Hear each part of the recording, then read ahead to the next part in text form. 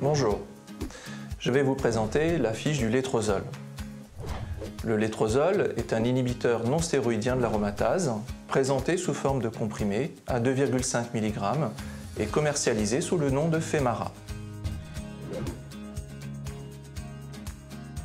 Ces indications sont le cancer du sein à récepteur hormonopositif chez la femme ménopausée, en traitement néoadjuvant, adjuvant de cancer invasif ou en cas de cancer avancé.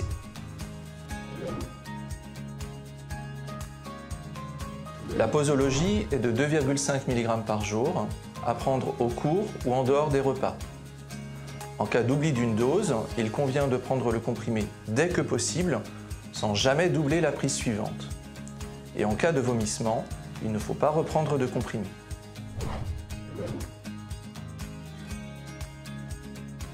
Le létrozole est inscrit sur la liste 1 et disponible en pharmacie de ville. Les troubles du métabolisme et de la nutrition sont fréquents. Par exemple, augmentation de l'appétit, prise de poids, hypercholestérolémie, qui nécessitent une surveillance régulière. Les affections vasculaires à type de bouffée de chaleur sont très fréquentes, thrombophlébite et embolie pulmonaire peu fréquentes. Certains déclencheurs des bouffées sont connus, les aliments chauds ou épicés, les boissons comme l'alcool, le café, le chocolat, également le stress et la chaleur. Pour réduire les bouffées, il convient de pratiquer un exercice physique et de boire de l'eau. Les affections musculo-squelettiques de type arthralgie, myalgie, douleurs osseuses sont fréquentes. Pour réduire les douleurs, il est possible de pratiquer un exercice physique, de boire de l'eau. Pour diminuer le risque de fracture, il convient de manger des aliments riches en calcium, lait, yaourt. La densité minérale osseuse est suivie à l'initiation puis régulièrement et un traitement anti-ostéoporosique est possible. La fatigue est fréquente. Pour la réduire, il est possible de pratiquer un exercice physique et il faut essayer de s'endormir à heure fixe.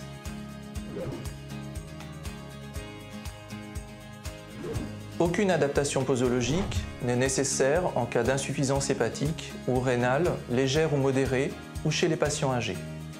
Parmi les examens recommandés, ostéodensitométrie, suivi du cholestérol et bilan hépatique. Le létrozole est un inhibiteur du cytochrome P450 2A6 et un substrat des cytochromes P450 2A6, 2C19 et 3A4 et 5. Avec les inhibiteurs puissants du cytochrome 2A6 et 3A4, une augmentation des concentrations est possible, alors qu'une diminution de l'action pharmacologique du létrozole peut être observée avec les antiœstrogènes ou les médicaments contenant des œstrogènes. Attention notamment au traitement hormonal substitutif qui doit être arrêté. Il faudra être prudent avec les substrats des cytochromes 2A6 et 2C19, notamment avec les médicaments à marge thérapeutique étroite, car il existe un risque de surdosage. Enfin, en ce qui concerne les interactions avec la phytothérapie, il faudra faire particulièrement attention aux phytoestrogènes, compléments alimentaires à base de soja ou d'isoflavones, sont déconseillés pour leur effet œstrogénique. Par contre, la consommation normale de soja dans l'alimentation est possible. Vous retrouverez l'ensemble des interactions et des informations sur la plaquette en ligne.